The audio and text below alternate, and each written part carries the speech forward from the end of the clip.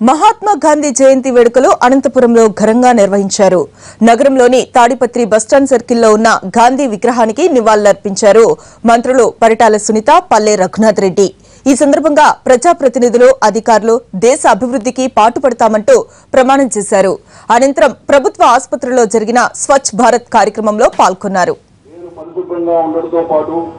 పరిసరాల పరిశుభ్రత కోసం కొంత సమయం కేటాయిస్తానని శపథం చేస్తుంది స్వచ్ఛంగా మిషన్ తద్వారా స్వచ్ఛ భారత్ మిషన్ కోసం